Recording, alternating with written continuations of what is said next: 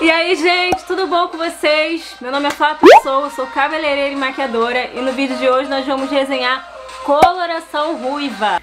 Eu fiz uma enquete com vocês lá no Instagram, no Twitter e aqui na comunidade do YouTube qual coloração vocês queriam que eu testasse esse mês, se era a Idea Color da Cadivel 843 ou a Yamaha Professional Color 8.4 e essa bonitinha aqui, ó, ganhou em disparado, tá? Eu não sei se ela é a mais preferida por ela ter um preço mais acessível ou por ela ter, né, um reflexo babadeiro aí que eu já fiquei sabendo, mas ela ganhou, ela foi a mais votada. Como vocês podem ver, meu cabelo tá super desbotado, porque eu estou esperando agora de dois em dois meses para poder mudar a coloração, para o meu cabelo dar uma respirada, eu conseguir dar uma resgatada nele. A coloração ruiva, ela tem muita amônia, gente, mas isso é normal, ela precisa ter esse impacto aí, ter mais amônia, para poder abrir o fio, né? E a gente ficar aquele ruivo laranjinho, aquele ruivo claro, bem acobreado que a gente gosta. Dando esse intervalo, eu consigo resgatar o meu cabelo, pelo menos um pouco, para ele sofrer, né, o próximo baque da coloração. Aqui, ó, a minha raiz já não deixa mentir Aqui, ó, quase dois dedos, gente, e vários cabelos brancos já gritando aqui. Como vocês podem ver, ele é um roxinho bem violeta, tá? E ela diz aqui conter queratina, aminoácidos funcionalizados que entrega cor, brilho e tem um tratamento, aquele exclusivo, né, aquela exclusiva tecnologia da Yamaha Color System 3D que dá aqueles brilhos, né, aqueles reflexos maravilhosos. Eu tô super empolgada para testar também. Então se você gosta desse tipo de vídeo, testando coloração, já deixa teu like aí para ajudar esse vídeo a bombar aqui na plataforma do YouTube. Comenta aqui embaixo qual é a próxima coloração você quer ver por aqui. Eu vou deixar as, as outras opções de coloração que eu tenho aqui para testar e você vai escolher qual é a próxima, tá? Então comenta aqui embaixo e dá uma olhada no box do vídeo. E também queria chamar você pra me seguir lá no meu Instagram, que é o arroba Blog. Eu tô sempre dando dicas e ajudando você chegar no seu tom perfeito. Eu faço isso de todo o coração. Então vai lá, me segue, é o arroba Blog. Então sem mais delongas, vamos lá preparar essa coloração e mostrar né, o babado dessa cor desse cabelo. Tem colorações que são um pouco mais chatinhas, que só dá um bom resultado se você usar oxigenada da mesma marca. Mas pelo que eu vi, a Yamaha não tem esse problema, você pode usar outra OX. Lembrando, gente, que tem que ser OX profissional voltada para cabelos. Não é qualquer água oxigenada, uma oxigenada estabilizada. 60 gramas de produto com 70 ml de OX.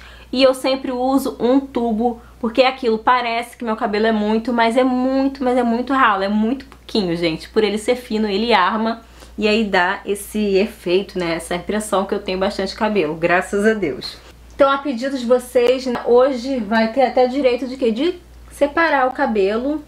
É porque quando a gente tem esse costume de pintar tanto o cabelo em casa, eu, por exemplo, comecei a pintar meu cabelo com 8 anos, com 8 não, com 11 anos de idade e nunca mais parei.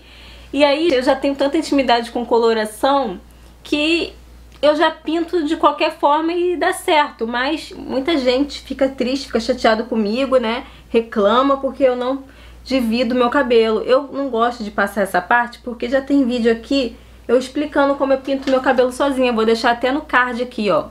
E aí o que que acontece? Já evita o vídeo ficar comprido, né? Ficar mais dinâmico, ficar mais rápido e a gente chega no nosso objetivo que é saber a cor que vai ficar. Vou usar a luvinha também para deixar todo mundo feliz, tá? Separei quatro coquinhos em cima, tá? E deixei essas duas partes aqui soltas, porque eu vou começar a pintar por elas, tá? Eu vou fazer aquele macetinho que eu vi no TikTok de cortar aqui e assoprar pra ver se dá certo. Gente, cortei, ó, com a tesoura e eu vou assoprar.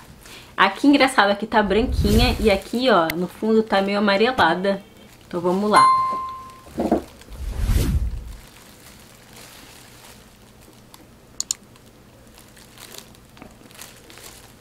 Ai, gente, queimou minha boca.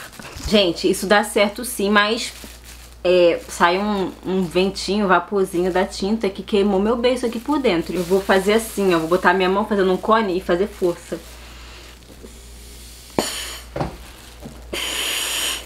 Caiu a tinta aqui. E ainda tem um pouco pendurada aqui que eu vou espremer. Oxigenada de 30, como eu sempre uso, porque eu gosto de um ruivo mais claro. Claro que você pode usar uma de 20 se você quiser, mas vai abrir menos o tom do seu cabelo.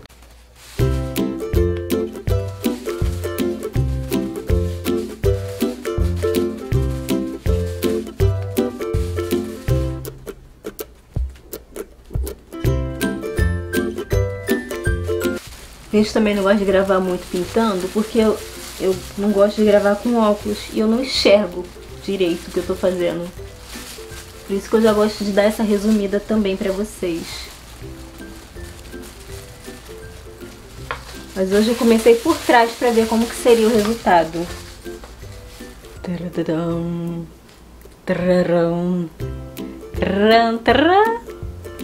Caraca, gente, olha o resultado deste cabelo. Fiz até uma make, né, pra ficar de acordo aí com esse laranja. Eu não achava que ia ficar laranja, gente. Deixa eu limpar meu dente aqui. Eu passei esse batom toda hora tá sujando meu dente. Gente, eu não achava que ia ficar esse laranja assim. Então, pá! Eu amei. E eu achei que lembrou muito, sabe o que? A mistura que eu faço de 877 da Igora com o Mix 077. Vou deixar aqui no card pra quem quiser dar uma olhada depois. Eu achei que ficou muito parecida a cor, só que é apenas com uma coloração, né? E assim, achei que deu uma ressecada, tá? Ficou bem ressecado o meu cabelo, então eu vou ter que, ó, correr aí depois pra hidratar bastante, nutrir, pra devolver o brilho desse cabelo.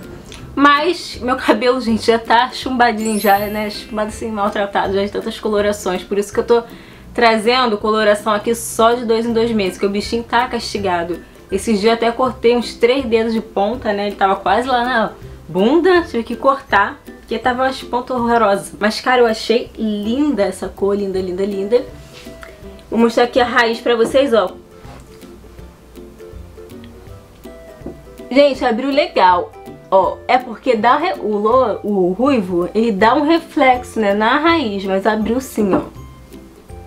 Pra vocês verem, ó. Abriu legal sim. É porque dá um reflexo, tá vendo, ó. Vou botar assim, agora apertando. Assim vocês conseguem ver. Abriu super bem, tá? Gostei, achei que ficou um laranjão. Não contava com minhas astúcias. Adorei, adorei.